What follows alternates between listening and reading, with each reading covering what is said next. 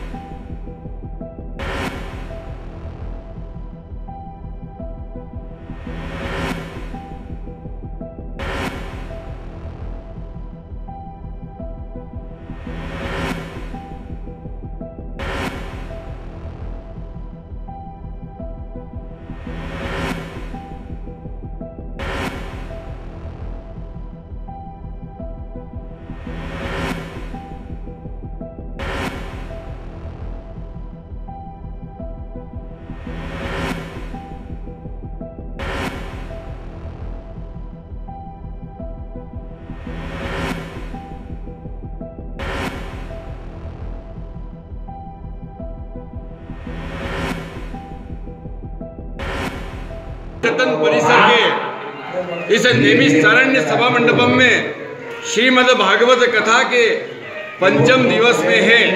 आज श्री गोवर्धन पूजा और छप्पन भोग का आयोजन भगवान श्री एकलिंगनाथ जी के इस पावन धाम में रखा गया है। आज कथा के साथ साथ में हम समसामयिक विषयों के ऊपर जो हमारी एक श्रृंखला होती है, उस श्रृंखला के अंतर्गत हमने आज यहाँ पर हेल्थ चेकअप कैंप रखा है। हेल्थ अवेयरनेस कैंप रखा है। आज पधारे सभी श्रद्धालुओं का उज्जैन के प्रसिद्ध डॉक्टरगण वॉइस ऑफ़ राइट्स के लिए उज्जैन से वीरेंद्र शर्मा की रिपोर्ट।